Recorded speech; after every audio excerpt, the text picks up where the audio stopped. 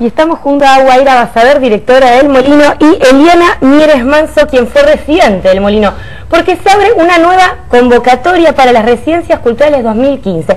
Yo, chicas, bueno, bienvenidas a Santa Fe Directo, quisiera que cuenten qué son estas residencias culturales, Bien. para quiénes están destinadas. Eh, bueno, el Ministerio de Innovación y Cultura eh, eh, pone en funcionamiento esta residencia a través de la Secretaría de Producción, Industrias y Servicios Culturales. eh, y es un proceso de formación pedagógico, cultural, eh, con un formato no tradicional. Hacemos un acercamiento a lo que son dispositivos lúdicos y constructivos a través de la posibilidad de que jóvenes de 18 que hayan terminado el secundario hasta 25 años puedan hacer un tránsito en relación a el trabajo con un público absolutamente diverso y la posibilidad de estar en contacto con una propuesta lúdica, pedagógica y cultural que viene trabajando Chiqui González hace 10 años y que nosotros fuimos potenciando y desarrollando de distintos lenguajes y posibilidades conceptuales, teóricas y prácticas. ¿Y estas residencias cuánto tiempo duran? Duran eh, 11 meses, de febrero a diciembre. Y bueno, eh, durante el trayecto de esta formación, digamos, lo que tratamos de transmitir es eh, a través de la práctica misma, del acercamiento mismo con el proyecto, eh, digamos, las posibilidades que tienen de conocer en profundidad eh, todo lo que digamos, se desarrolla tanto en la redonda con digamos, di- distintos ejes temáticos y en el molino con otros ejes más constructivos, por decirlo, bueno, vinculados a la infancia y, y la relación con los adultos.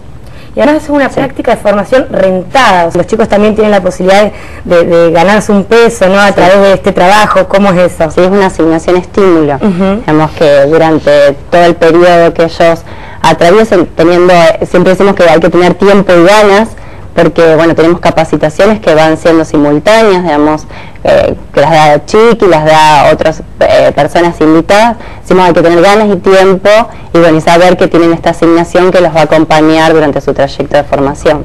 Bueno, ¿y a partir de cuándo los chicos pueden inscribirse para poder eh, participar, para poder hacer una residencia cultural? Nosotros decimos que ya vayan preparando los papeles, que a partir del 6 de octubre Ajá. ya va a estar el formulario en, en la página de gobierno y que bueno, que preparen todos los papeles que eh, digamos, llevan su tiempito, que no, no esperen hasta ese momento, pero que se acercan a nuestros organismos, al Molino Fábrica Cultural, a la Redonda o a la Esquina Encendida para preguntarnos personalmente todas las inquietudes que tengan. Y todos estos papeles los podemos encontrar en el sitio web del... Lo podemos encontrar en el sitio web, pero también saber qué es el currículum, la fotocopia 1 y 2 del documento y constancia de todos los, de los datos que dice en el currículum. Y después el domicilio certificado. O sea, es muy fácil presentarse a la convocatoria. Perfecto, bueno. Y Elena, comentame cómo fue tu experiencia como residente del Molino. ¿Cómo estás? Hola, buen día.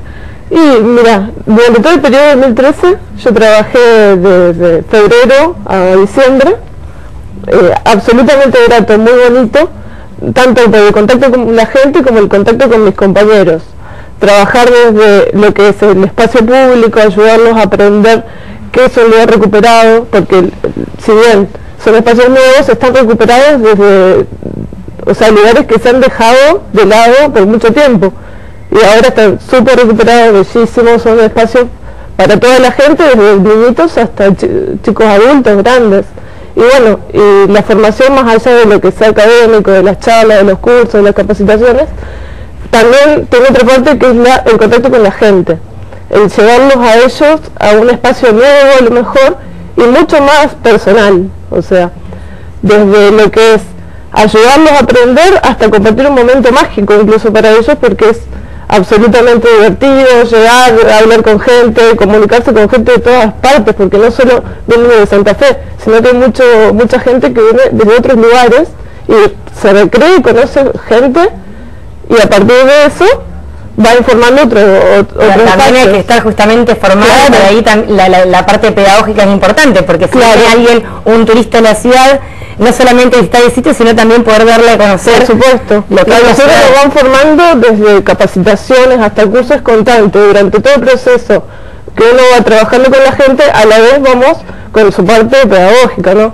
Nos van formando en cuanto al trato de las personas, a cómo incluso eh, estar en, ciertos lugares de conflicto, porque no siempre los espacios culturales son, son gratos, pero bueno, de a poco se va formando. ¿Por qué invitarías a un joven a que se sume a esta experiencia, a que tenga la misma experiencia que vos tuviste? Porque la verdad que es un, eh, es un espacio bellísimo, es algo para compartir eh, desde lo que es la, la persona y su entorno, hasta incluso llegar a personas que a lo mejor nunca han estado en un espacio cultural. Y la verdad que es grato cuando la gente te devuelve esa misma buena energía. O sea, siempre que uno tenga muchas ganas de aprender y de estar en contacto con la gente, eh, yo les invito a que se acerquen, eh, es un espacio muy bonito, incluso el coordinador es ahora mismo que, que nos pueden eh, ayudar o incluso contar cómo su experiencia, mi experiencia fue muy bonita desde el punto de vista de que yo he conocido gente de todas partes y realmente me, ha llenado. Incluso yo descubrí eh, mi vocación de enseñar. Wow. Bueno, chicas, muchísimas gracias. Entonces repetimos que vayan guardando los papeles, juntando todos los papeles, porque a partir del 6 de octubre se van a poder inscribir y tener una experiencia como la de Eliana. Muchísimas gracias. gracias. Seguimos en Santa Fe Directo. Mi corazón con el Kini late más. Dale, prendete. Vos también hacete fanático al ritmo del Kini 6 y vení a festejar toda la semana. Canal 3 está en Las Vegas y ayer no fue un día más en esta semana previa.